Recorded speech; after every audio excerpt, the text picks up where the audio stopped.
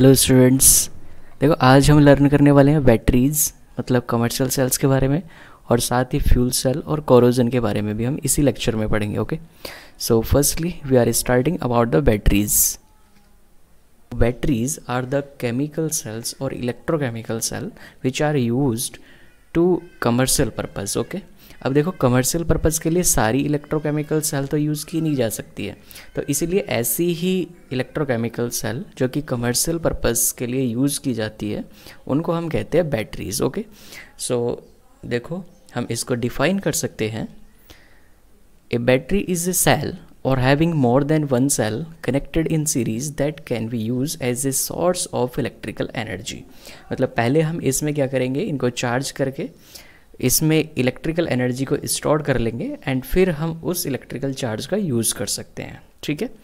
Okay अब देखो commercial cell में या मतलब बैटरीज में क्या क्या स्पेसिफिक चीज़ें होनी चाहिए क्या क्या स्पेसिफिक प्रॉपर्टीज़ होनी चाहिए, ताकि हम उनको कमर्शियल पर्पज़ के लिए यूज़ कर सके। उसको हम देखते हैं, जैसे कि उनमें कॉम्पैक्टनेस होनी चाहिए और उनका वेट ज़्यादा नहीं होना चाहिए लाइट वेट होनी चाहिए और पोर्टेबिलिटी के लिए इजी हो बिल्कुल ओके तो हम कुछ पॉइंट्स लिख सकते हैं यहाँ पे, जैसे कि every electrochemical cell is not suitable suitable for commercial purpose क्यों नहीं होती है? Because it should have the compactness light weight and flexible for portability okay और इसकी वोल्टेज कभी भी जब यूज़ हो रही है कोई इलेक्ट्रोकेमिकल सेल मतलब बैटरी यूज़ हो रही है तो उसकी वोल्टेज ज़्यादा ड्रॉप नहीं होनी चाहिए ओके वरना जिसमें हम यूज़ कर रहे हैं जिस डिवाइस में उसमें की यूटिलिटी पे इफ़ेक्ट पड़ सकता है वो डैमेज भी हो सकती है ओके सो so, ये था हमारा बैटरी का इंट्रोडक्शन अब हम बात करते हैं कि कितने टाइप की बैटरीज होती है okay so now mention a heading types of batteries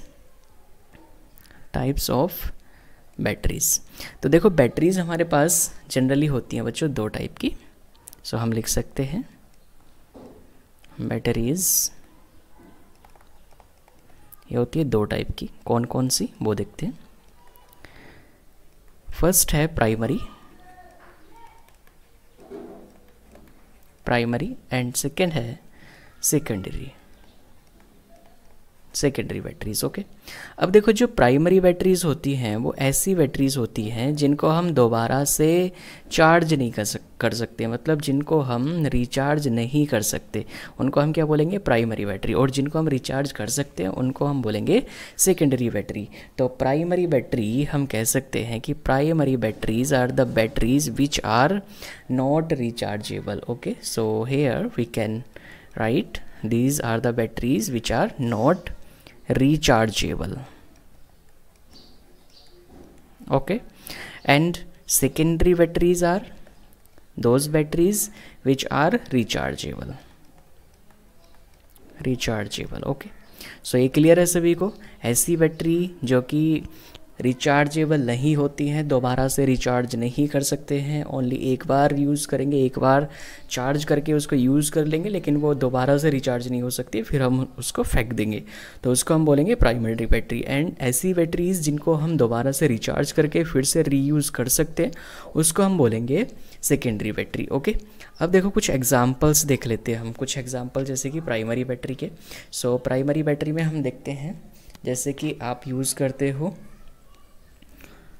button cell मतलब ड्राई सेल, इसके कुछ एग्जाम्पल्स लिख लेते हैं हम। जैसे ड्राई सेल ड्राई सेल, और हो सकता है जैसे mercury cell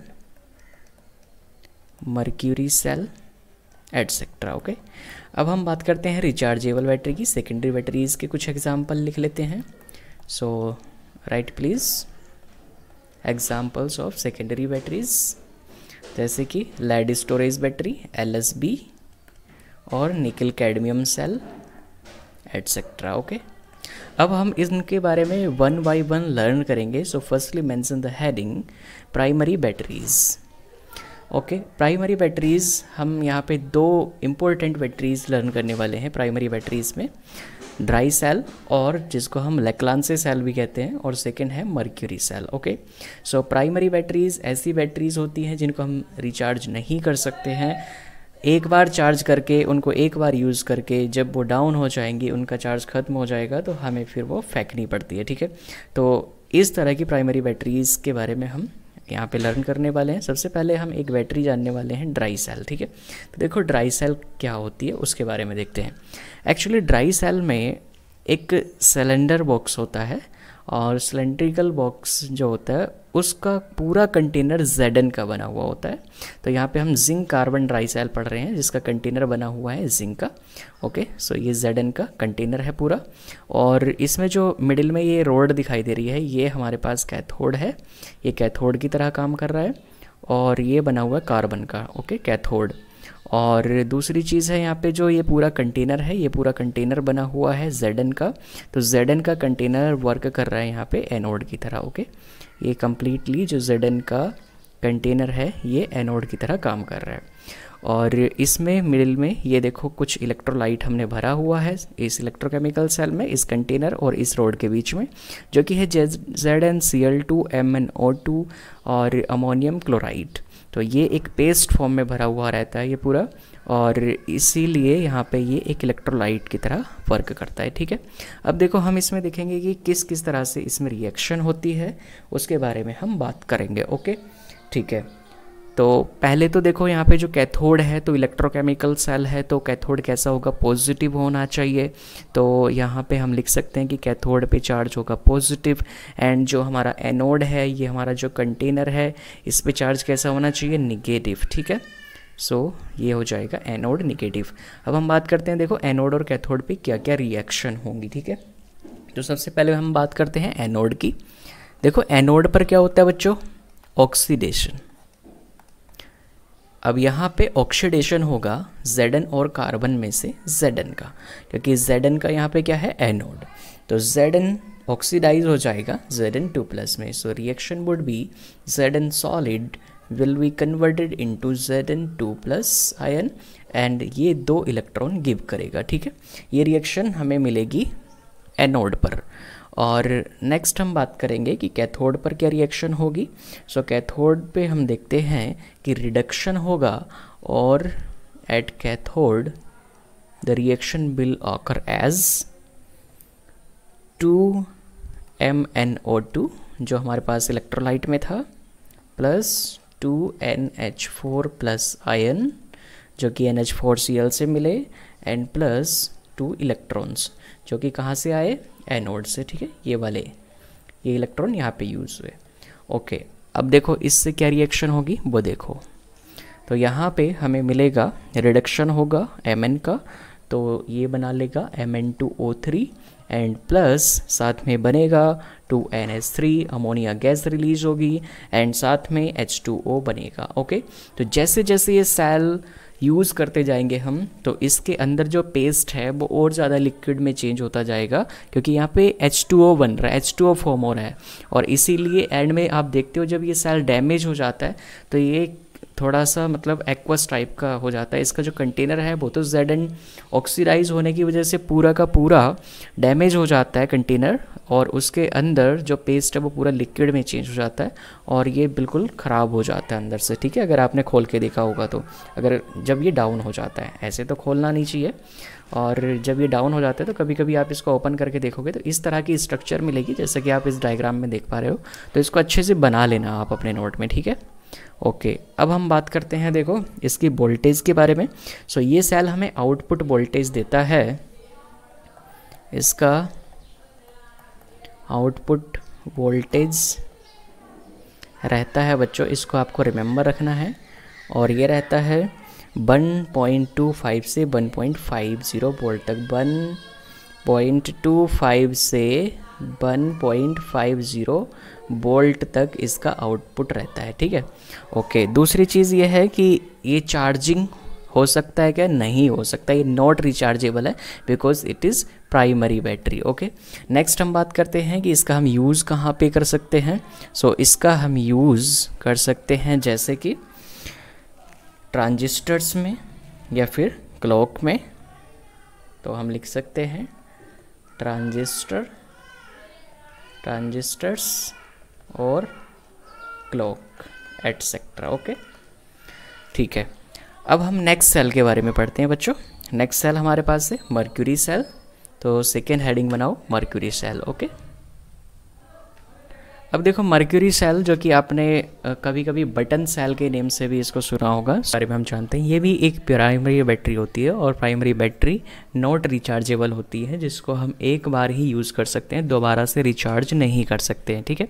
सो so, इसमें हम बात करते हैं कि इसका क्या कंस्ट्रक्शन है और किस तरह से एनोड और कैथोड पर केमिकल रिएक्शंस होंगी ठीक है? सो सबसे पहले हम देखते हैं इसमें जो हमारे पास कंटेनर है आपको जो ये एक बटन सेल दिख रहा है इसको हम जनरली बटन सेल भी बोलते हैं मर्क्यूरी सेल को। और मर्क्यूरी मर्क्यूरी सेल हम इसको इसलिए बोलते हैं बिकॉज़ इसमें एनोड और कैथोड पर मेटल के एमलगम यूज़ होते हैं ठीक है? सो so, सबसे पहले हम देखते हैं एनोड पर। एनोड पर हमारे पास यहाँ पे मेटल होगा जेड और इसका एचजी के साथ एमलगम होता है। तो एनोड पर प्रेजेंट रहता है बच्चों Z N plus H G जो कि आपको रेड कलर का दिख रहा है। और बीच में हमारे पास एक सेपरेटर होगा और इलेक्ट्रोलाइट होगा साथ में। और कैथोड बना हुआ होता है बच्चों कार्बन और प्लस एच जी ओ का, ठीक है? यहाँ पे हम इलेक्ट्रोलाइट यूज़ करते हैं। इलेक्ट्रोलाइट इलेक्ट्रोलाइट इक्वल्स टू होता है बच्चों इसमें के O H and plus Z N O okay इसका हम इलेक्ट्रोलाइट यूज़ करते हैं ओके okay? अब हम बात करते हैं कि एनोड और कैथोड पर किस तरह से रेड ऑक्स रिएक्शन होगी उसके बारे में हम बात करेंगे। एक्चुअली सबसे पहले हम बात करते हैं एनोड पर क्या रिएक्शन होगी। सो so, एनोड पर होता है oxidation so anode at anode what would we happen oxidation so हम लिख सकते हैं ऑक्सीडेशन होगा एनोड पर। एंड देन हम देखते हैं कि यहाँ पे जो जेड एन का एमलगम है जेड एन एच जी के साथ में है एमलगम फॉर्म में है तो ये कन्वर्ट हो जाता है बच्चों जेड एन ओ में ओके अब यहाँ पे ऑक्सीजन कहाँ से आया? जो हमने के ओ एच यूज़ किया है, वहाँ से इसको मिला ओके तो हम बात कर सकते हैं यहाँ पे कि हम जेड एन एच जी और प्लस जो इलेक्ट्रोलाइट है, उससे मिला यहाँ पे ओ एच माइनस एंड ये कन्वर्ट हो गया जेड एन ओ में। तो हम इसको इस तरह से भी लिख सकते हैं कि Z N gives Z N O और Z N H G plus two O H minus gives Z N O plus H two O and plus two electrons okay अब ये जो दो इलेक्ट्रॉन इसने दिए, वो कैथोड पर जाएँगे तो कैथोड पर क्या रिएक्शन होगी? एट कैथोड रिडक्शन रिएक्शन होने वाली है कैथोड पर। तो रिडक्शन रिएक्शन में हमारे पास जो प्रेजेंट है एच जी ओ ये किसमें कन्वर्ट हो जाएगा? एच जी में। जो कैथोड पर जो हमारे पास एच जी ओ है, ये कन्वर्ट हो जाएगा एच जी में। तो हम रिएक्शन लिख सकते हैं H G O plus two electrons and plus H two O जो अभी एनोड पर रिलीज़ हुआ था ये। देखो, ये टू इलेक्ट्रॉन और एच टू ओ एनोड पर मिला था हमें। सो ये फिर से यूज़ होके कैथोड पर देखो क्या बनाएगा। Two O H minus ion and plus H G liquid okay so देखो यहाँ पे स्पेशल थिंग क्या है कि स्पेशल बात ये है कि इसमें एच टू रिलीज़ हुआ था लेकिन फिर से एब्जॉर्ब हो गया कैथोड पर। तो इसीलिए इस सेल की लॉन्ग लाइफ रहती है और ये जो इलेक्ट्रॉनिक सर्किट्स रहते हैं इलेक्ट्रिक सर्किट रहते हैं उनको ज़्यादा लॉस नहीं पहुँचाते बिल्कुल भी लॉस नहीं पहुँचाते हैं ठीक है? सो so, ये काफ़ी यूज़फुल भी होते हैं और इसीलिए ये वॉच और जो अदर बहुत ही ज़्यादा सेंसिटिव इलेक्ट्रिक डिवाइसेस रहती हैं उनमें भी हम इनका यूज़ करते हैं ठीक है?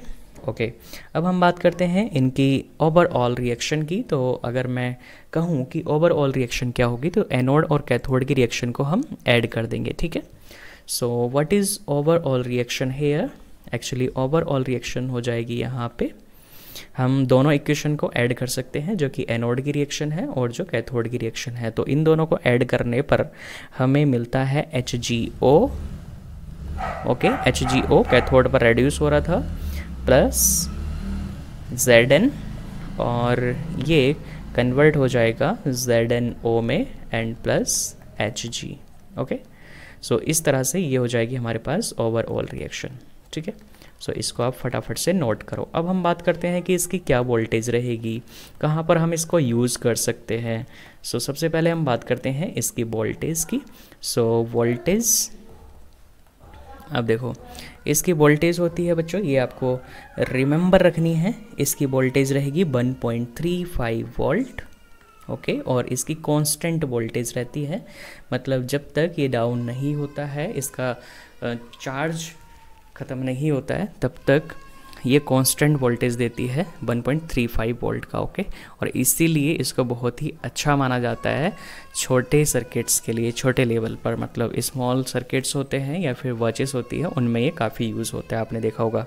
उसके बाद हम बात करते हैं कि हम इसको कहाँ पर यूज़ करते हैं। सो एक्चुअली यूजेस अब देखो, इसका यूज़ कर सकते हैं वॉचेस में। ओके? और हम इसको यूज़ कर सकते हैं कैमराज में। और हम इनको यूज़ कर सकते हैं हियरिंग डिवाइसेस में। ओके? एटसेट्रा यहाँ तक क्लियर है बच्चों? मर्क्यूरी सेल सभी को क्लियर हुआ। ओके। okay. अब हम बात करेंगे सेकेंडरी बैटरीज़ की। तो अब हम बात करते हैं सेकेंडरी बैटरीज़ की। सेकेंडरी बैटरीज़ में हमने देखा था एग्जांपल्स में लेड स्टोरेज बैटरी और निकल कैडमियम सेल के बारे में ओके सो so, सबसे पहले मेंशन करो हेडिंग लेड स्टोरेज बैटरी के बारे में। So firstly mention heading LSB then we will learn about the nickel cadmium cell so lead storage battery में देखो एक कंटेनर होता है, बिल्कुल सिंपल सा, और उसमें कई पैरल प्लेट लगी हुई होती है, और हम ये कह सकते हैं कि कई छोटी छोटी इलेक्ट्रोकेमिकल सेल सीरीज़ में जुड़ी हुई होती है। यहाँ पे जो आप ये देख पा रहे हो, जो ब्लैक कलर में आपको ये रोड दिख रही है, ये देखो सेम है, कुछ रोड सेम है मतलब ये हम कह सकते हैं कि ये कैथोड है, जो ब्लैक कलर से आपको सो रही है।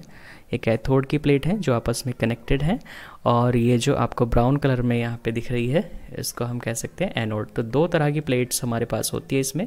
एक कैनो एक कैथोड की तरह काम करेंगी और एक एनोड की तरह.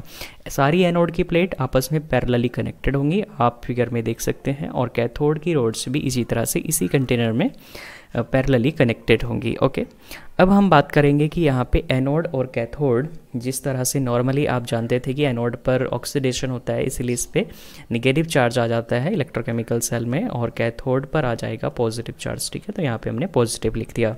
इस कंटेनर में हम अगर इलेक्ट्रोलाइट और इलेक्ट्रोड्स के मेटल्स की बात करें तो यहाँ पे जो एनोड है एनोड पर होता है लेड ये प्लेट सारी लेड की प्लेट्स हैं। तो हम लिख सकते हैं एनोड पर, ये सभी कैसी प्लेट हैं? पीबी प्लेट्स हैं। ओके और जो कैथोड है, ये पीबी है coated with P V O two तो हम लिख सकते हैं P B plates coated with coated with P B O two ठीक है? इस तरह से इसको लिख लेना है।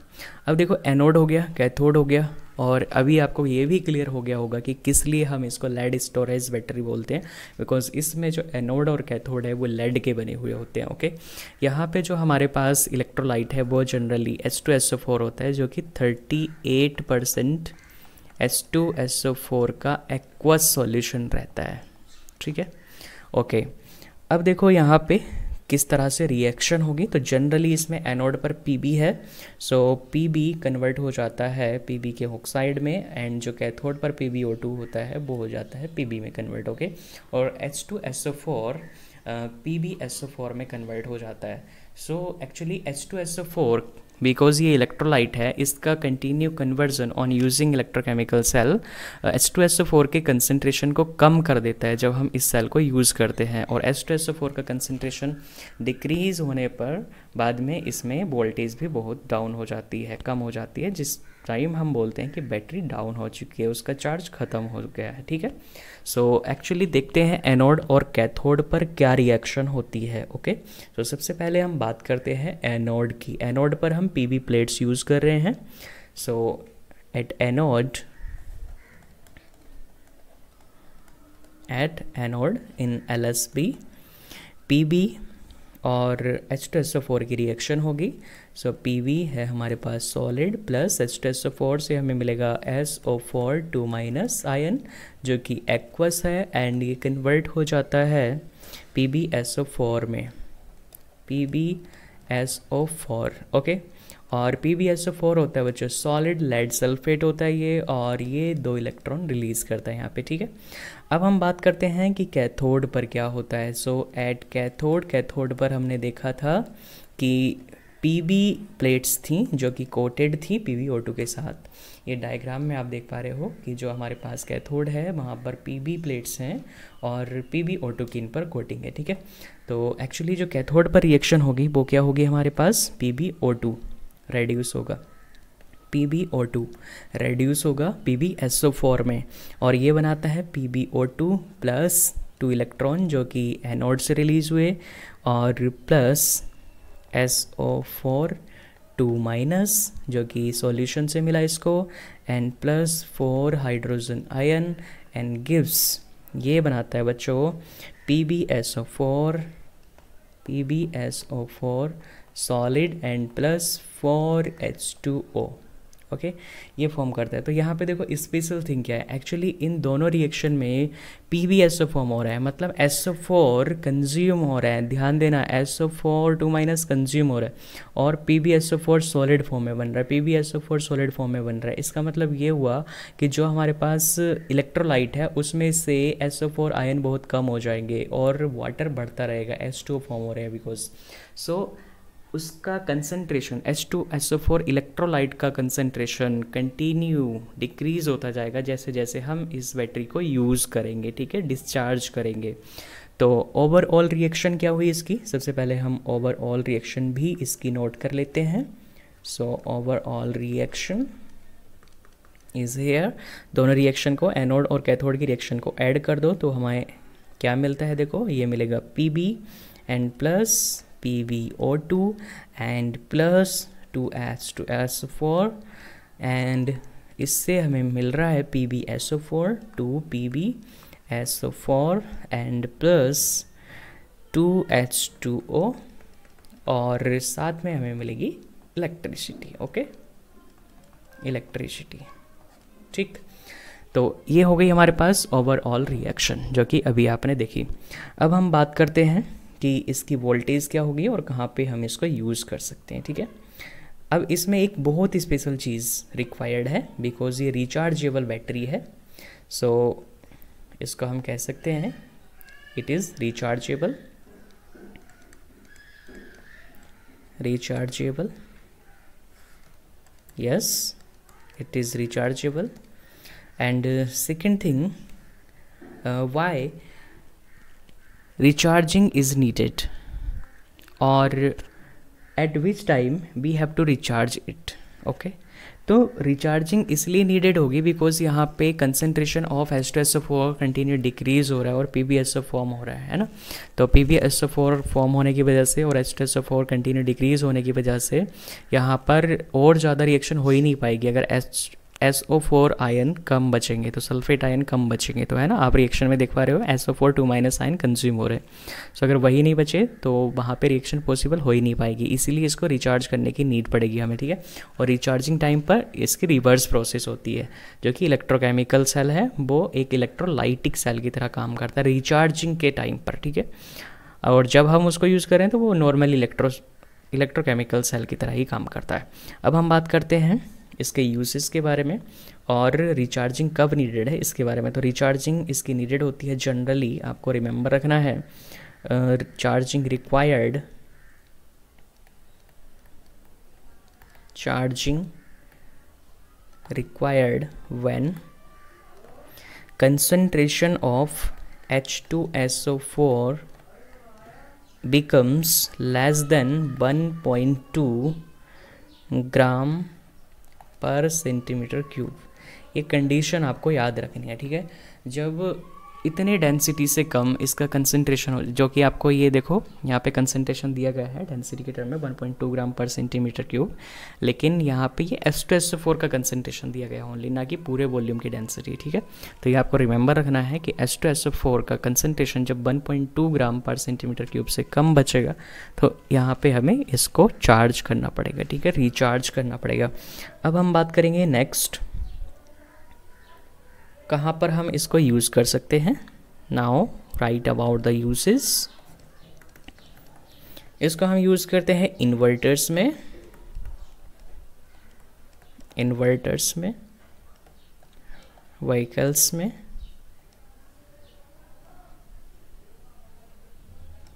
और हम इसको यूज़ कर सकते हैं अदर जगह पे भी ठीक है? सो so, ये आपको रिमेम्बर रखना है। ओके सो so, यहाँ पर L S V lead storage battery complete होती है। अब हम बात करते हैं नेक्स्ट निकल कैडमियम सेल के बारे में। देखो निकल कैडमियम सेल बिल्कुल सेम ड्राई सेल की तरह ही होती है। देखने में कंस्ट्रक्शन की तरह भी, उसका कंस्ट्रक्शन में भी बस ओनली मेटल चेंज हो जाते हैं निकल और कैडमियम के एनोड और कैथोड बन जाते हैं, बाकी सब कुछ सेम रहता है, ठीक है? लेकिन ये रिचार्जिंग हो सकती है, इसकी रिचार्जिंग हो सकती है it is secondary battery okay so nickel cadmium cell actually dry cell से एक्सपेंसिव भी होती है और ड्राई सेल रिचार्ज नहीं हो सकती है जबकि N I C D cell recharge हो सकती है। तो ये दोनों में डिफरेंस है। देखने में आपको दोनों एक जैसी ही लगती हैं, ठीक है? तो सबसे पहली बात तो हम यहाँ पे करेंगे कि एनोड किस चीज़ का बनाएँगे कैथोड किस चीज़ का बनाएँगे निकल कैडमियम सेल में। तो यहाँ पे एनोड होता है सीडी का एंड कैथोड की अगर हम बात करें तो कैथोड हम यूज़ करते हैं एन आई ओ टू का, ठीक है? इसकी जो रिएक्शन होती है रिएक्शन साथ में रिएक्शन के लिए इलेक्ट्रोलाइट भी चाहिए होगा। इलेक्ट्रोकेमिकल सेल कंप्लीट होने में तो इलेक्ट्रोलाइट भी यहाँ पे नोट कर लो। इलेक्ट्रोलाइट हम यूज़ करते हैं बच्चों के ओ एच सोल्यूशन ठीक है? के ओ एच अब इसकी जो रिएक्शन होगी, उसकी बात करेंगे। Actually at anode at anode तो सी डी का क्या हो जाएगा? Oxidation so C D solid plus two O H minus या इलेक्ट्रोलाइट से gives C D hydroxide form हो जाएगा इसका and plus two electrons release होंगे। अब देखते हैं हम कैथोड पर क्या होगा। सो so, बच्चों कैथोड पर जो हमारे पास NiO2 है उसका रिडक्शन होता है। NiO2 जो कि हमारे पास सॉलिड है कैथोड पर ये two H two O and plus two electron accept करके बना लेता है N I O H whole twice nickel hydroxide and plus it releases two O H minus ion aqueous okay so ये इसकी reaction है। अब हम बात करते हैं आउटपुट वोल्टेज की। सो आउटपुट वोल्टेज अब देखो आउटपुट वोल्टेज कितनी होगी उसको देखो, ये आपको रिमेंबर रखना है। इसकी वोल्टेज होती है 1.4 वोल्ट जबकि अगर हम बात करें, देखो, अभी मैंने आपको जो एलएसबी है, उसकी वोल्टेज नहीं बताई थी। क्यों? बिकॉज़ हम इसकी वोल्टेज को कम या ज़्यादा कर सकते हैं। इसकी कोई फिक्स वोल्टेज नहीं होती। अगर हम, जैसे कि एल एस स्टोरेज बैटरी लेना चाहते हैं, बारह वोल्ट की तो बारह वोल्ट की मिल जाती है। अगर हम और ज़्यादा वोल्ट की लेना चाहते हैं तो और ज़्यादा की भी मिल सकती है, ठीक है? जैसे हमें अगर बारह वोल्ट चाहिए तो हम क्या करेंगे यहाँ पे हम यहाँ पे क्या करेंगे कि सिक्स दो दो वोल्ट की बैटरीज़ को पैरेलल जोड़ देंगे यहाँ पे। यहाँ पे हम कनेक्ट कर देंगे सीरीज़ में। तो सीरीज़ में जोड़ने से क्या होगा? हमें टोटल वोल्टेज कितनी मिलेगी? देखो टोटल वोल्टेज हमें मान लिया रिक्वायर्ड है बारह वोल्ट तो हम क्या करेंगे? टू वोल्ट की बैटरी फिर से टू वोल्ट की बैटरी हम इसमें ऐड कर देंगे। सो टू वोल्ट फिर से टू बोल्ट, फिर से टू बोल्ट। तो इसी तरह से हम छः बैटरीज़ अगर हम सीरीज़ में जोड़ देते हैं तो हमें क्या मिलेगा देखो, इस पॉइंट से इस पॉइंट तक टोटल ट्वेल्व वोल्ट मिलेगा, ठीक है? Two volt two volt two volt so two volt into six total कितना मिल जाएगा? टोटल ट्वेल्व वोल्ट इस तरह से हम इसको करते हैं। जितना भी हमें रिक्वायर्ड होता है, उतने ही वोल्टेज की बैटरी बना सकते हैं हम इससे, ठीक है? एल से। इसीलिए काफ़ी यूज़ भी होती है। और जबकि जो निकल कैडमियम सेल है, इसमें क्या होता है? वन पॉइंट फोर वोल्ट मिलता है, ठीक है? अब हम बात करते हैं इसके यूजेस के बारे में। So N I C D batteries के यूजेस मेंशन करो फटाफट से। देखो, ये यूज़ होते हैं बच्चों टेलीफोन्स में और वीडियो कैमकोडर्स में। टेलीफोन्स में और वीडियो कैमकोडर्स में। एटसेट्रा ठीक है तो यहाँ तक आपको क्लियर है? अब हम बात करते हैं नेक्स्ट यहाँ तक देखो हमारे पास बैटरीज़ क्लियर हो गई, जो कि हमने स्टार्टिंग में पढ़ी थी प्राइमरी एंड सेकेंडरी बैटरीज़ जिनमें हमने दो दो बैटरीज़ पर अच्छे से पढ़ लिया है, जितना हमें यहाँ पे दिया गया है और ये हमारे सिलेबस में अब हम नेक्स्ट टॉपिक यहाँ पे पढ़ रहे हैं। वो भी एक स्पेशल सेल है जो कि है फ्यूल सेल तो अब हम बात करेंगे फ्यूल सेल की। फ्यूल सेल एक ऐसी सेल होती है जिसमें कि कम्बसन एनर्जी को इलेक्ट्रिसिटी में कन्वर्ट करते हैं। ओके सो फ्यूल सेल और दो cell in which electrical energy produced from the combustion of fuels such as CH4, H2, CO, etc. Okay so ये आपको रिमेंबर रखना है। फ्यूल सेल ऐसी सेल होती है जो कि कंबशन एनर्जी से इलेक्ट्रिसिटी बनाती है। जबकि इलेक्ट्रोकेमिकल सेल में क्या हो रहा था? उसमें हम देख पा रहे थे कि वहाँ पर केमिकल रिएक्शन हो रही थी spontaneous chemical reaction and then electricity release हो रही थी। इसमें भी फ्यूल सेल में भी केमिकल रिएक्शन भी होगी। लेकिन कौन सी केमिकल रिएक्शन होगी? कंबशन ठीक है? सो so, यहाँ पे हम फ्यूल कौन सा ले सकते हैं? एच टू ले सकते हैं सी एच फोर ले सकते हैं सी ओ ले सकते हैं एटसेट्रा ओके सो इसके बारे में और ज़्यादा जानते हैं। एक्चुअली इसमें हम कुछ और पॉइंट ऐड कर सकते हैं, जैसे कि एक बहुत इंपॉर्टेंट फ्यूल सेल है H two O two fuel cell ठीक है?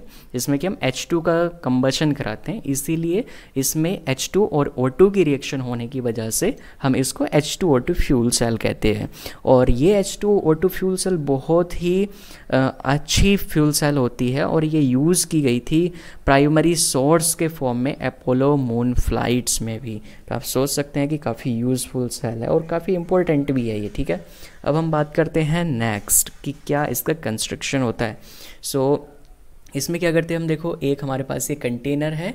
सो so, एक साइड से हम क्या करेंगे? एच टू गैस ठीक है? और दूसरी साइड से हम इसमें देते हैं O two gas so H two gas इधर से हमने दिया और ऑटो गैस इधर से हमने दिया। और ये जो आपको दो ब्लू कलर के यहाँ पे रोड्स दिख रहे हैं, ये मेटल रोड्स हैं। सो इनसे हम वायर कनेक्ट कर सकते हैं, ठीक है? और यहाँ पर इसमें इलेक्ट्रोलाइट भरा हुआ है। इलेक्ट्रोलाइट हम यहाँ पे सोडियम हाइड्रोक्साइड या फिर पोटासियम हाइड्रोक्साइड का यूज़ करते हैं, ठीक है? सो इलेक्ट्रोलाइट हमने ले लिया यहाँ पे के ओ एच एक्वा सॉल्यूशन ठीक है? सो यहाँ पे हम लिख देते हैं एन ए ओ एच और के ओ एच ठीक है? ये आपको ध्यान रखना है ये क्या हो गया हमारे पास? इलेक्ट्रोलाइट अब दोनों की रिएक्शन होगी H2 और O2 की। सो so, H2 यहाँ पर क्या करेगा? H2 और O2 में एक का ऑक्सीडेशन होगा एक का रिडक्शन होगा। सो so, H2 का ऑक्सीडेशन होगा और O2 का रिडक्शन होगा। तो यहाँ पर क्या हो जाएगा कि जो एनोड है H2 वाला इलेक्ट्रोड एनोड बन जाएगा और जो O2 वाला इलेक्ट्रोड है, वो कैथोड बन जाएगा। ठीक है? अब यहाँ पे एनोड निगेटिव हो जाएगा, क्योंकि एनोड में निगेटिव चार्ज होता है इलेक्ट्रोकेमिकल सेल में और कैथोड हो जाएगा पॉजिटिव ठीक है? अब देखो, ये हो गया हमारा H2O2 फ्यूल सेल ओके और यहाँ पर इलेक्ट्रोड के बारे में भी नोट कर लो। ये क्या है हमारे पास दोनों? इलेक्ट्रोड्स ठीक है? इलेक्ट्रोड ओके अब हम बात करते हैं कि यहाँ पे क्या रिएक्शन होगी। तो H2 क्या होगा? ऑक्सीडाइज होगा ना? सो एच टू ऑक्सीडाइज होगा किसमें कन्वर्ट हो जाएगा? एच टू कन्वर्ट हो जाएगा यहाँ पे H प्लस आयन में। और O टू किसमें कन्वर्ट हो जाएगा? O टू माइनस आयन में ठीक है? सो so, इसके रिएक्शन लिख लेते हैं। एनोड और कैथोड पे क्या होगा? तो सबसे पहले हम बात करते हैं एनोड की। So in fuel cell at anode H2 will oxidize so 2H2 gas and this would be oxidize so this would be oxidized into four hydrogen ion aqueous में ओके okay? और यहाँ पे हमने टू क्यों लिया? Because हमें O two के साथ इसको बैलेंस करना है। सो so, यहाँ पे कितने इलेक्ट्रॉन रिलीज़ होंगे? फोर इलेक्ट्रॉन अब देखो एट कैथोड क्या होगा? एट कैथोड हमने लिया ओ टू ये है गैस। अब इसको देखो, चार इलेक्ट्रॉन चाहिए रेड्यूस होने के लिए ऑक्साइड आयन बनाने के लिए तो टू ओ और इस पर चार्ज होगा टू माइनस तो चार इलेक्ट्रॉन चाहिए थे, इसीलिए हमने यहाँ पे एनोड पर टू एच टू लिए थे, इसको ताकि बैलेंस कर सके हम, ठीक है? फोर इलेक्ट्रॉन इधर से मिलेंगे फोर इलेक्ट्रॉन कैथोड पर जाएँगे और रेड्यूस हो जाएगा ओ टू क्लियर है? तो इसकी हम ओवरऑल रिएक्शन भी लिख सकते हैं बच्चों यहाँ पे। ओवरऑल रिएक्शन भी हम यहाँ पे लिख सकते हैं।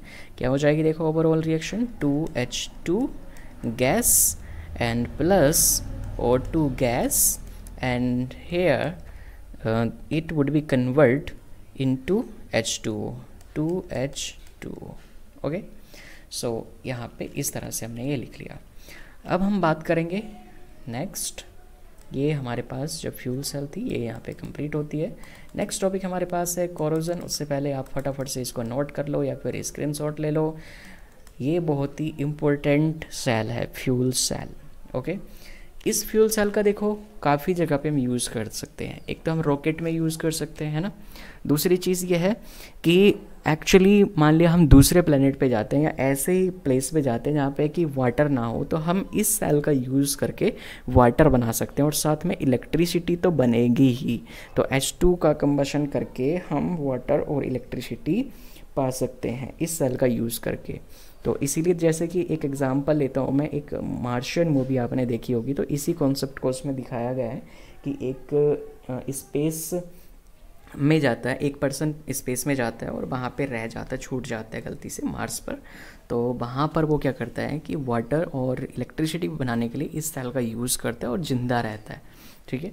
सो एक्चुअली ये एक बहुत ही इंपॉर्टेंट सेल है। अब हम आते हैं अपने टॉपिक पर। नेक्स्ट टॉपिक है corrosion okay so next topic is corrosion mention a heading corrosion आपने कभी कभी देखा होगा बच्चों, जो मेटल्स है तो उन पे एक लेयर बन जाती है ब्राउन कलर की कभी ग्रीन कलर की अलग अलग टाइप की अलग अलग मेटल पर लेयर बन जाती है जो कि एक सिंपल सी रिएक्शन होती है जो कि एटमॉस्फेयर की गैस और मॉइस्चर मिलके मेटल को डैमेज करती है उस रिएक्शन में। उसी को हम कहते हैं कॉरोजन ओके तो जैसे कि आपने कभी देखा होगा कि जो पुराने सब्सटेंसेस हैं वो क्या हो जाते हैं? ख़राब हो जाते हैं जैसे आयरन है उसकी रस्टिंग हो जाती है। सो so, उस टाइम पे क्या होता है? मेटल ख़राब हो गया। किस वजह से हो गया? जो एटमॉस्फेरिक गैसेस हैं, उनके अटैक से और साथ में एच टू ओ मॉइस्चर के अटैक से ये ख़राब हो जाता है। तो इसको हम बोलते हैं कोरोजन ओके जिसके एग्ज़ाम्पल में आता है रस्टिंग ऑफ़ आयरन ठीक है? तो हम लिख सकते हैं क्या? A process of slowly eating away of the metal due to attack of atmospheric gases on the surface of the metal resulting into formation of compound such as oxide हो सकता है सल्फाइड हो सकता है कार्बोनेट हो सकता है sulphate हो सकता है एटसेट्रा ओके एंड इस प्रोसेस को हम क्या बोलेंगे? कोरोजन ठीक है? ओके कुछ एग्जाम्पल्स हम देख लेते हैं, जैसे कि rusting of iron green coating on copper green coating on bronze black layer on silver etcetera okay so इसको फटाफट से नोट करो कोरोजन को। अब हम इसके मैकेनिज्म के बारे में जानते हैं ओके okay? इसको हमने जूम कर लिया। मेटल के सरफेस पे एक ड्रॉप है। वाटर की। सो so, ये जो आपको डायग्राम में दिख रहा है यहाँ पे ये है हमारे पास मेटल आयरन एफ़ और ये है हमारे पास ड्रॉप वाटर की ठीक है? सो so, हम यहाँ पे लिख देते हैं water drop okay this is water drop water drop okay okay अब देखो इस वाटर ड्रॉप में O2 होगा है ना? और साथ में H2 मॉलिक्यूल्स होंगे। अब होता क्या है कि यहाँ पर इलेक्ट्रोलाइट भी होना चाहिए तभी तो सेल बनेगा electrochemical cell so actually atmosphere से जो सी ओ टू होती है वो और एच टू ओ दोनों मिलकर बना लेते हैं बच्चों H two C O three ठीक है? और जो कि एक वीक एसिड होता है एक इलेक्ट्रोलाइट होता है. सो so, ये क्या होता है कि H two C O three दोनों क्या करेंगे? सी ओ टू और एच टू मिलकर जो H two C O three बनाएँगे, ये इलेक्ट्रोलाइट की तरह काम करने लगता है, ठीक है? तो एटमॉस्फेयर में जो वाटर ड्रॉप है, वो किस तरह की हो गई अब? H two C O three से मिक्सड हो गई और वो एक इलेक्ट्रोलाइट की तरह काम करेगी ओके अब क्या होगा कि यहाँ पर इस वाटर ड्रॉप के अंदर ओ टू होगा, है ना? और इस वाटर ड्रॉप के बाहर भी ओ टू होगा राइट सो ओ टू जो बाहर है एटमॉस्फेयर में, वहाँ पे हाई कंसंट्रेशन होगा, ज़्यादा कंसंट्रेशन होगा, और जो वाटर है, इसमें क्या होगा? कम कंसंट्रेशन होगा, ठीक है? लेस कंसंट्रेशन होगा, ठीक है? अब कंसंट्रेशन अलग अलग होने की वजह से, जैसे यहाँ पे हम एक पॉइंट देख रहे हैं मेटल के सरफेस पे तो यहाँ पे जो हमारे पास पॉइंट है, यहाँ पे क्या है? ज़्यादा है O2 और यहाँ पे जहाँ पे वाटर है यहाँ पे O2 कम है। वाटर में तो इसका मतलब क्या हुआ कि अलग अलग कंसनट्रेशन होने की वजह से क्या बनेगा? एक सेल की तरह काम करने लगेगा ये। एक इलेक्ट्रोकेमिकल सेल बन जाएगा माइक्रो लेवल पे ठीक है? सो so, इस सरफेस पे एक इलेक्ट्रोकेमिकल सेल बन जाएगा। किस तरह से? वो देखो जो हमारे पास एफ़ ई है तो एफ़ ई कन्वर्ट हो जाएगा बच्चों एफ़ ई टू प्लस में। सो एफ़ ई कन्वर्ट हो गया एफ़ ई कन्वर्ट हो गया बच्चों एफ़ ई टू प्लस में। ये बना लेगा एफ़ ई टू प्लस। और इसी तरह से और भी जो एटम्स होंगे वो हो जाएँगे एफ़ ई टू प्लस में कन्वर्ट। और साथ में क्या करेंगे? इलेक्ट्रॉन्स देंगे। दो इलेक्ट्रॉन रिलीज़ कर देंगे। सो so, इधर से जो इलेक्ट्रॉन गए वो इधर मूव होंगे। और two electron plus two electron कितने हो जाएँगे? फोर इलेक्ट्रॉन सो ये इलेक्ट्रॉन्स जो हमारे पास रिलीज़ हुए यहाँ से two electron plus two electron इन दोनों ने रिलीज़ किए यहाँ से। वो जाएँगे सरफेस पर मेटल के सरफेस पर, और यहाँ पे एक सिंपल सी रिएक्शन होगी बच्चों। यहाँ पर एक रिएक्शन होगी सिंपल सी, जो हमारे पास एटमॉस्फेरिक O2 है, और साथ में जो हमारे पास H2O है, ये वाटर ड्रॉप से हमें मिल जाएगा। तो ये H2O और O2 और प्लस फोर इलेक्ट्रॉन मिलकर यहाँ पे बना लेते हैं बच्चों फोर ओ एच माइनस ठीक है? अब ये जो four O H minus ion है, ये F E two plus ion because यहाँ पे कैटायन है तो कैटायन की तरफ़ अट्रैक्ट होंगे F E two plus ion की तरफ़।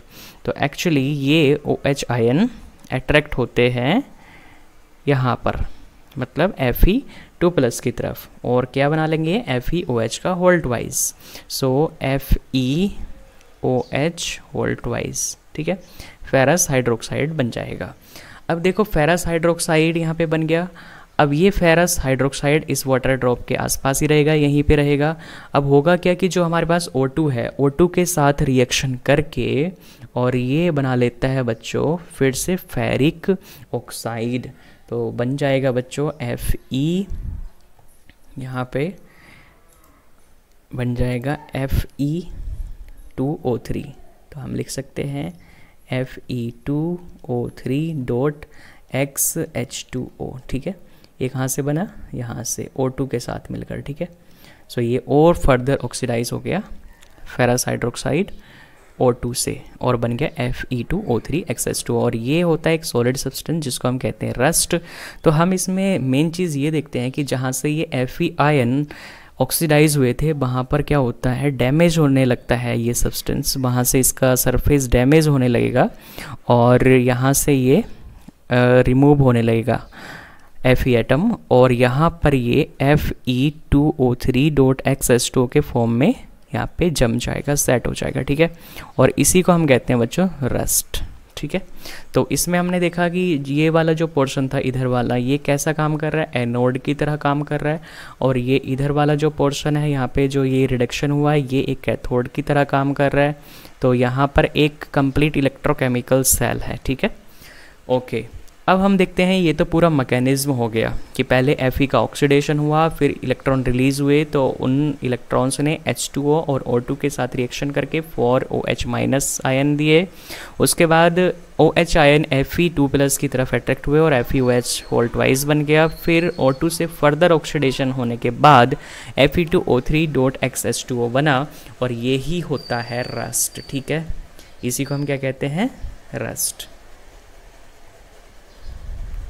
ओके तो आई होप कि ये सभी को क्लियर हो गया। इसको फटाफट से आप कॉपी करो। अब हम बात करते हैं कि इस रस्टिंग से बहुत ज़्यादा नुकसान होता है बच्चों एक्चुअली और रस्ट से हम किस तरह से मेटल को बचा सकते हैं? कम्प्लीटली तो नहीं बचा सकते, लेकिन हम कोशिश कर सकते हैं। तो कैसे कैसे हम इसको बचाएँगे, उसको हम देखेंगे। साथ ही साथ हम देखेंगे कि इसकी ओवरऑल रिएक्शन क्या हुई। जो हमने अभी अभी मैकेनिज्म पढ़ा। तो हम सबसे पहले देखते हैं कि एफ़ ई ऑक्सीडाइज हो गया। एक तो एनोड की रिएक्शन हो गई, एक कैथोड की रिएक्शन हो गई और फिर हम ओवरऑल रिएक्शन भी यहाँ पे लिख लेंगे, ठीक है? तो फर्स्टली हम यहाँ पे लिख लेते हैं कि रस्टिंग में एनोडिक रिएक्शन कैसे हुई? एनोडिक रिएक्शन जो पोर्शन एनोड बन रहा था, उस पर क्या हुआ? एफ़ ई सॉलिड कन्वर्ट हो गया एफ़ ई टू प्लस में। F E two plus ion में एक्वस प्लस टू इलेक्ट्रॉन इसने दिए थे, ठीक है? और कैथोड पर क्या हुआ बच्चों? कैथोडिक रिएक्शन हम इसको बोल सकते हैं। सो कैथोडिक रिएक्शन में हमने देखा कि जो हमारे पास इलेक्ट्रॉन्स थे, वो O2 और H2O के साथ मिलकर क्या बनाते हैं बच्चों? वो बना लेते हैं हमारे पास ओ एच माइनस आयन तो हम यहाँ पे लिख सकते हैं four O H minus ion okay ठीक है। अब इलेक्ट्रोलाइट हमने क्या यूज़ किया था? H2O और CO2 से H2CO3 बन रहा था तो वो हमारे पास इलेक्ट्रोलाइट था ओके अब ओवरऑल रिएक्शन हम देखते हैं कि क्या होगी। So overall reaction overall reaction is this 2Fe OH का होल ट्वाइज बिकॉज़ एक्चुअली पहले तो ये वाली हो जाएगी एनोड और कैथोड वाली। सो आफ्टर ओवरऑल रिएक्शन मतलब यहाँ पे जो एनोडिक और कैथोडिक रिएक्शन है उसके बाद क्या होगी ठीक है? सो so, यहाँ पे ओवरऑल रिएक्शन तो ये हो गई कि एफ़ ई कन्वर्ट हो गया एफ़ ई टू प्लस में और ओ कन्वर्ट हो गया ओ एच माइनस आयन में। सो आफ्टर ओवरऑल रिएक्शन क्या होगा? तो यहाँ पे हम लिख सकते हैं after after this overall reaction क्या होगी ठीक है? तो two F E O H का whole twice plus half O two and plus H two O और ये फिर कन्वर्ट हो जाता है F E two O three dot X H two O में, जिसको हम क्या कहते हैं? रस्ट ठीक है? हाइड्रेटेड फेरिक ऑक्साइड भी हम इसको बोलते हैं।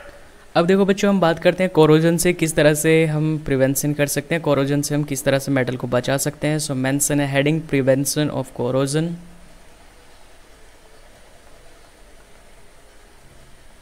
prevention of corrosion ठीक है। सो इसके लिए देखो हम क्या क्या कर सकते हैं। उसको देखो। कुछ हम पॉइंट्स यहाँ पे नोट कर लेते हैं। सो फ़र्स्ट पॉइंट यहाँ पे बनाओ। पहला पॉइंट है हमारा बैर barrier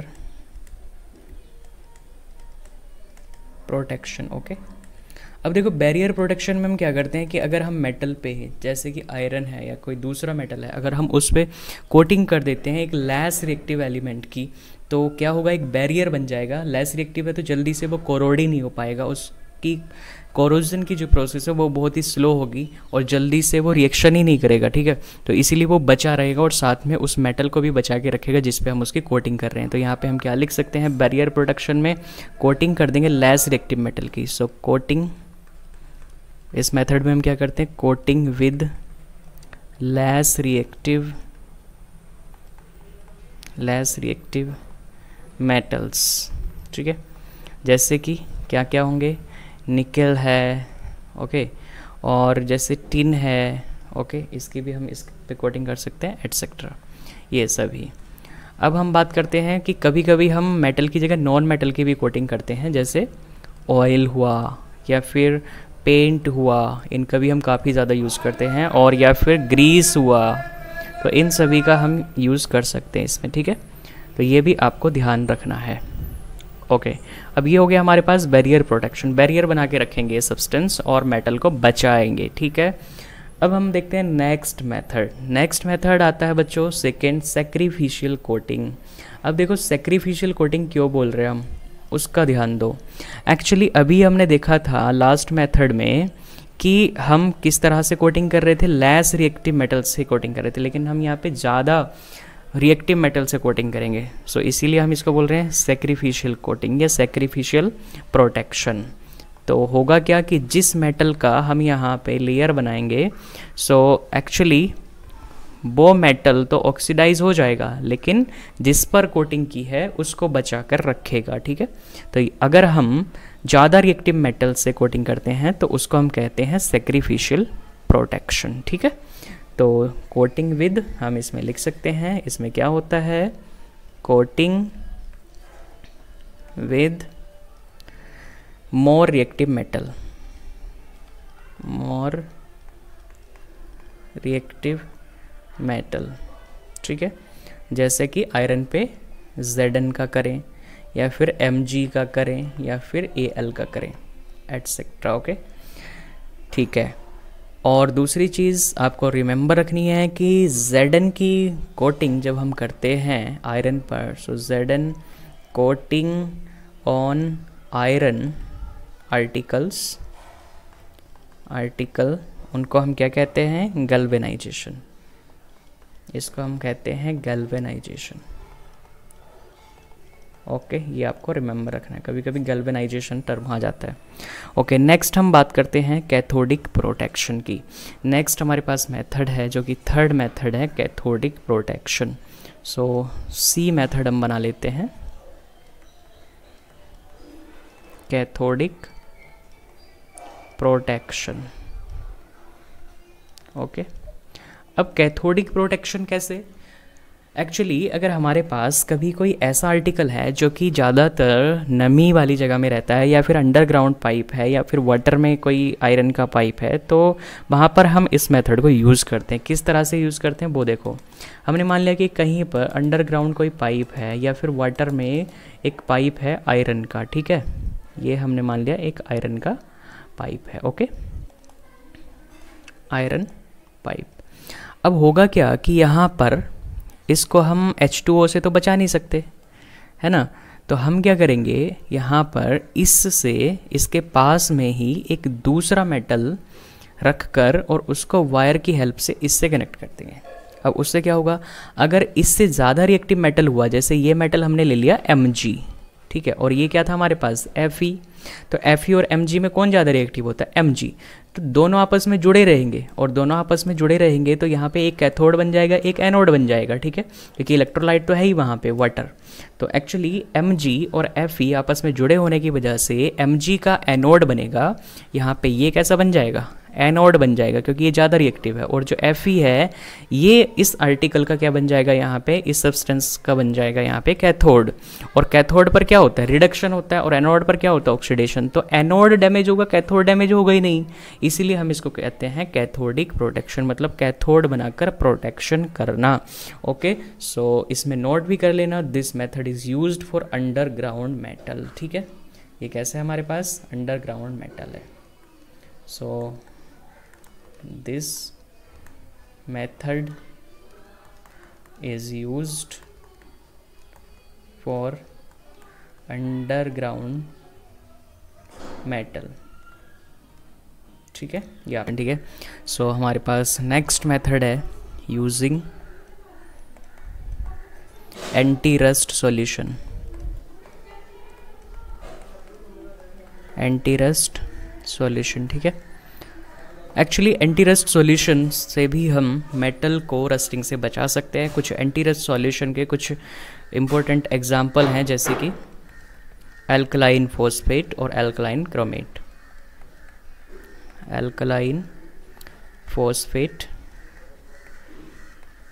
example N A three P O four और एल्कलाइन क्रोमेट ठीक है?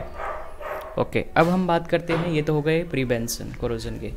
हम कुछ ऐसे फैक्टर्स की बात करेंगे जिनको हम अगर ध्यान में रखें तो रस्टिंग को हम कम कर सकते हैं। अगर हम उन फैक्टर का पता कर लें कि क्या क्या फैक्टर रस्टिंग को इफ़ेक्ट करते हैं अफेक्ट करते हैं सो हम उनका ध्यान रख सकते हैं और रस्टिंग को थोड़ा सा कम कर सकते हैं। So mention heading factors affecting corrosion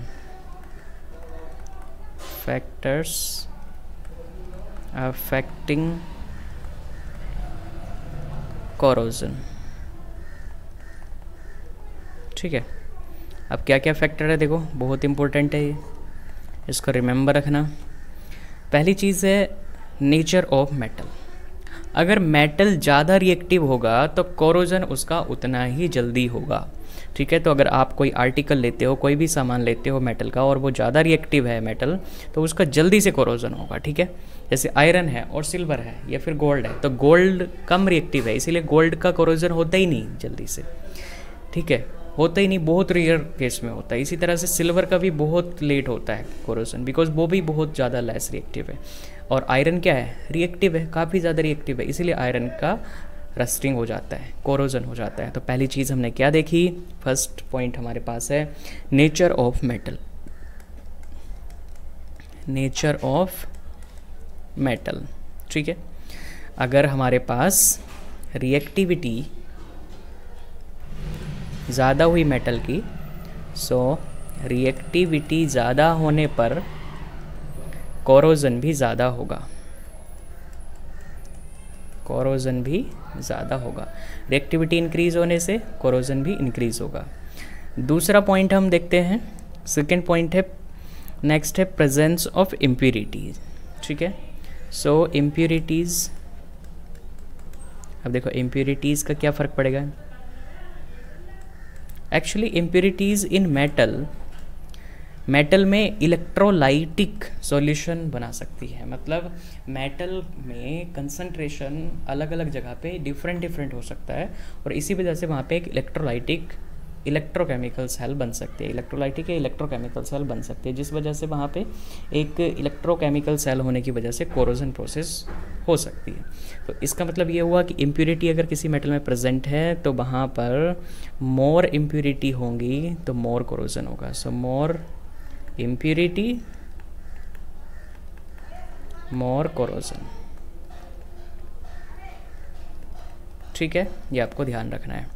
अब हम नेक्स्ट पॉइंट की बात करते हैं। नेक्स्ट है हमारे पास presence of electrolyte presence of electrolyte